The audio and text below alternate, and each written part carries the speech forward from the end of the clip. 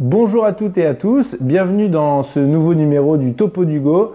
Et aujourd'hui, on va parler euh, prison et également euh, pour le contrôle d'identité. Bon, alors pour les prisons, je vais commencer par là. Vous avez vu qu'il y a un mouvement euh, qui, a, qui, a, commencé il y a maintenant plus d'une dizaine de jours qui se prolonge parce que en fait, il y a, il y a dans les prisons un profond malaise.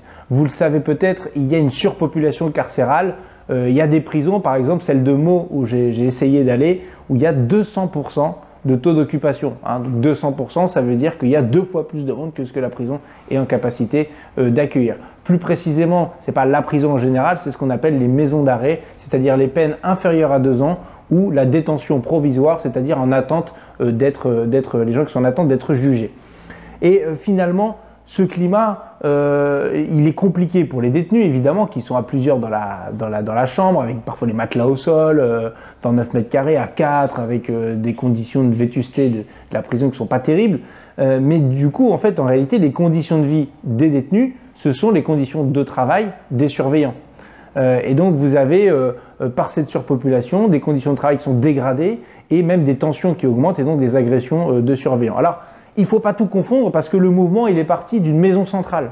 Euh, à Vendin-le-Vieil, dans le Pas-de-Calais. D'ailleurs, j'y étais allé. J'ai une petite vidéo sur Facebook euh, sur le sujet, donc je vous invite à aller la voir, où je m'entretiens avec deux, euh, syndicalistes. Et en fait, euh, les maisons centrales, c'est là où il y a les détenus qui ont les peines les plus lourdes. Voilà, les grands criminels, quoi. Donc, euh, à la limite, on peut imaginer que dans ces, maisons centrales, euh, bah, il y ait des agressions de surveillants, que les détenus soient un peu violents, puisque c'est précisément le public qui se trouve en, maison centrale. Et ce que revendiquaient les personnels, c'est justement plus d'humain euh, dans tout ça, plus de, de, renforts de collègues, parce qu'on a mis cette prison, elle est toute neuve, on a mis des caméras partout, mais en fait, il n'y a plus assez de gens pour intervenir. C'est ça le problème. C'est que vous avez les week-ends et les nuits, vous n'avez plus d'officiers présents et les surveillants gèrent eux-mêmes l'atoll comme ils peuvent.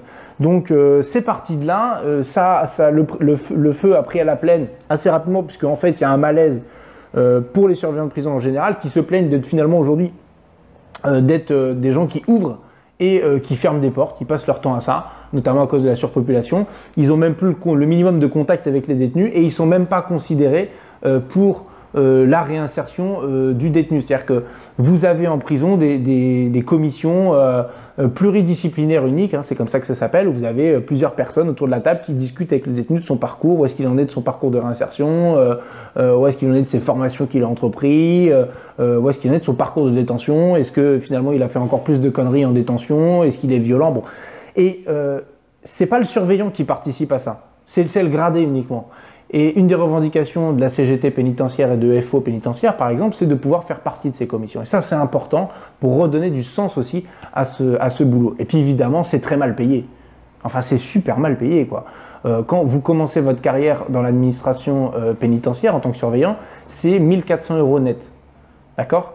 Euh, Un policier, pour vous donner un, ordre d'idée, hein, un policier qui commence, c'est aux alentours de 1700 euros net. Hein, vous voyez un peu le, delta pour un métier qui est tout aussi difficile. Je veux dire, quand vous êtes surveillant, vous faites insulter hein, tous les jours, vous faites casser la gueule parfois. Euh, euh, enfin, c'est dangereux, c'est stressant, c'est oppressant.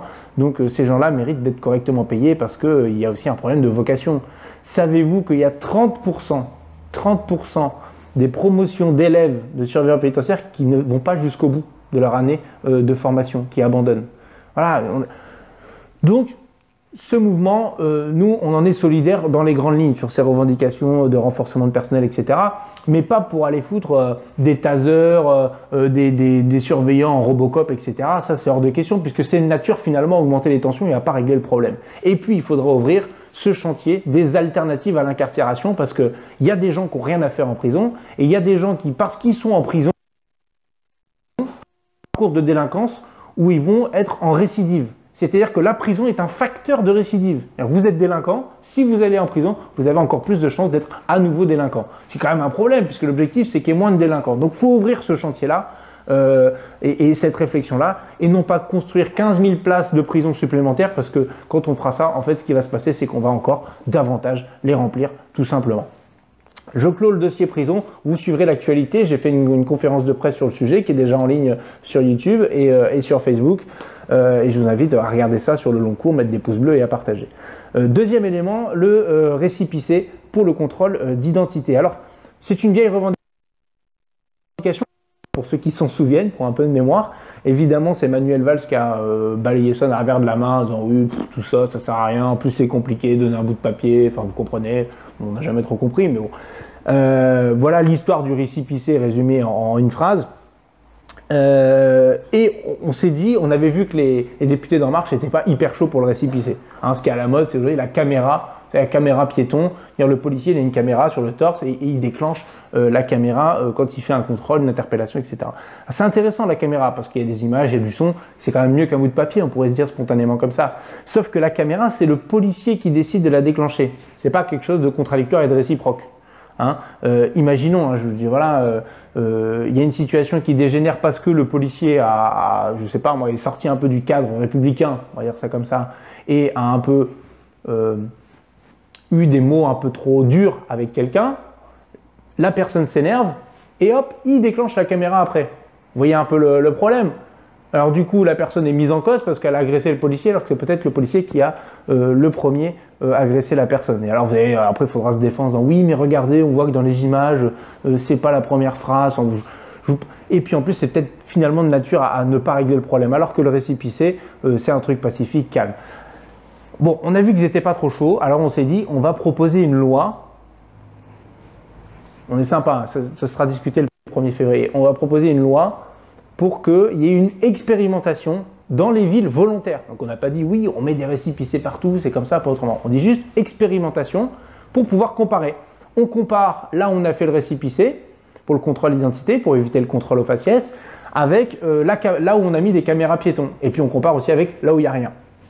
Et on voit là où le, rapport police-population euh, s'est le plus amélioré, comment les, policiers ont ressenti ça, etc. Aujourd'hui, euh, ça s'est refusé. Euh, on l'a vu en commission et on le verra sans doute en séance. dire par un sectarisme qui est assez extraordinaire, quoi. C'est-à-dire qu'on leur demande juste d'expérimenter pour pouvoir avoir des éléments factuels pour comparer. Et même ça, même ça, les représentants de, la majorité ne, sont pas d'accord. Alors on a lancé une pétition.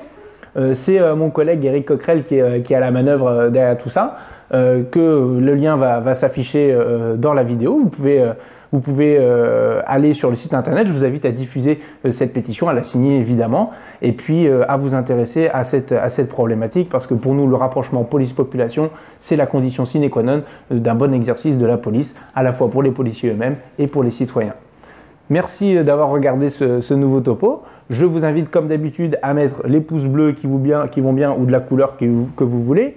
Euh, à partager sur YouTube, Facebook, Twitter. Et puis je vous dis à bientôt. Ciao